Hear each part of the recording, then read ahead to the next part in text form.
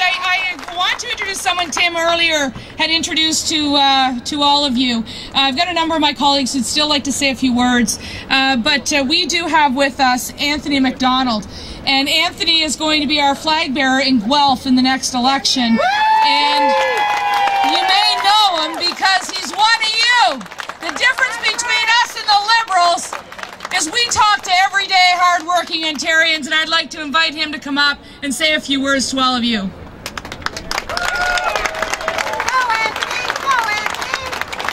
Afternoon, everyone.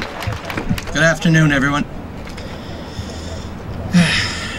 This is my wife, Amy, my daughter, Ava.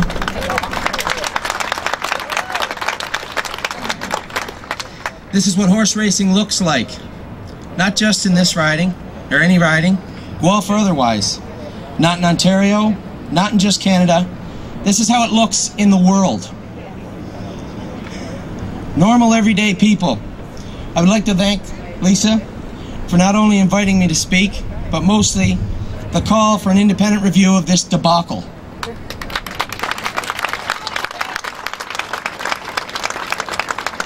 I fully support you, and I know everyone else here does also.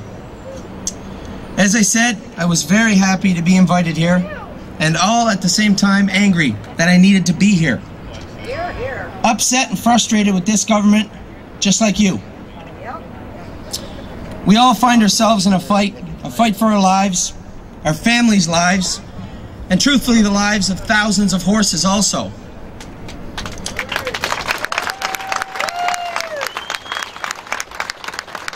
We all know who the aggressors are. I thought, as you did, it was a weak and financially strained government, a government too lazy to look before it leaped. But now that we are months and months into this fight, I see, as you should too, it's a disgraceful greed of a few that has driven the many.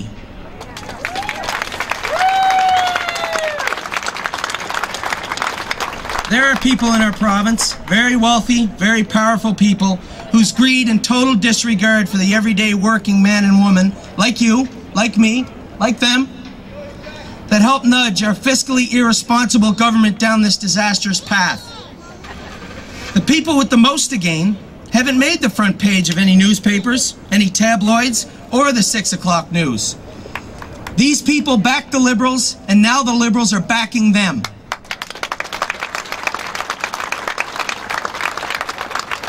We have all heard horse racing or health care. It's been deba debated in that very building. There couldn't be any more of a foolish statement. One has helped fund the other for over 10 years now.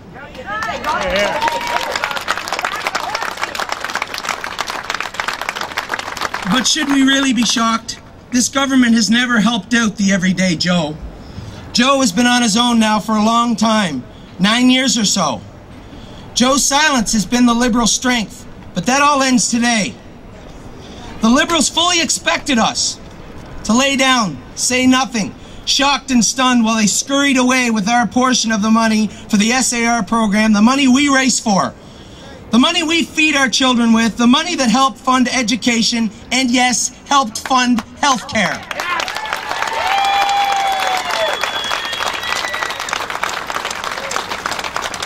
What the, little, the Liberals didn't expect was that the Ontario people, our neighbours, the average Joes, would see through the lies, the corruption, and be able to stop and understand for themselves what was happening here.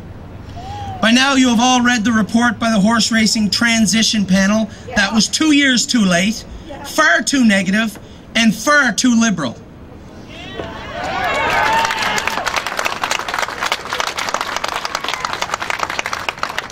We have all seen the comments from the all too absent Ted McMeekin.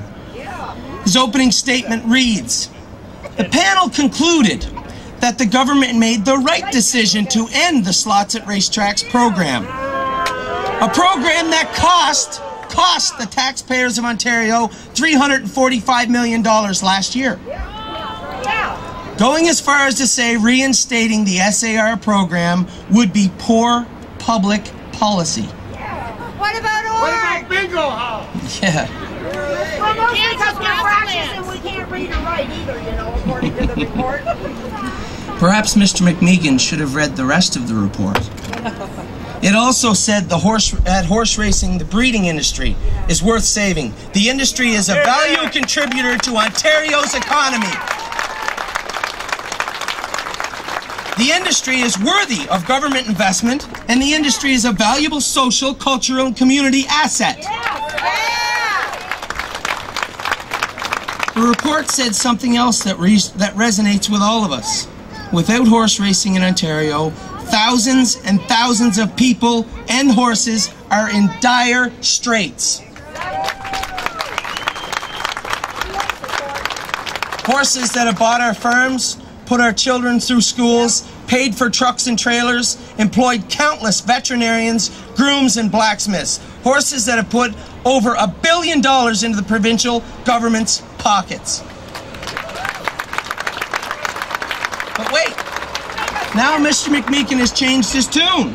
Now he's saying, as recently as Monday, it was never this government's intention to crumble the industry. Really? Are you sure about that? We may also, well, well, we may as well all just go home if they don't want to crumble the industry. What are we all doing here today? We want to help us. Listen, we cannot trust this government. No. Not with our tax dollars, not with our livelihoods, and certainly not with our horses. No, sir.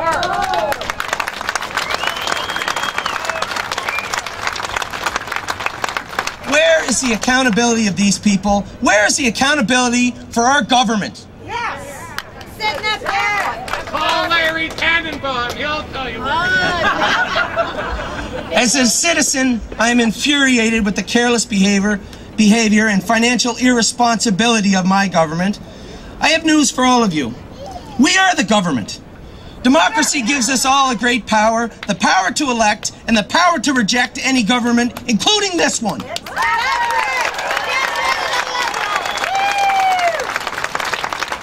Even this government is for the people, elected by the people, and most importantly, accountable to the people. When a government turns on the citizens, it's the people, they have the responsi- responsibility to replace it. That's why I'm here, and that's why you're here. As many of you know, I fully intend to run for the PC party in the riding of Guelph in the next election. An election that may be closer in the calendar than we all think. I would like to ask just one favor from the Liberals. Only one. When you are still a minority government after September 6th, and the opposition finally forces an election, the day following that election, you will hang your head and you will feel like all of us do right now. Do me a favor. Do my wife and my daughter a favor. Do all of us a favor. Don't let the door hit you on the way out.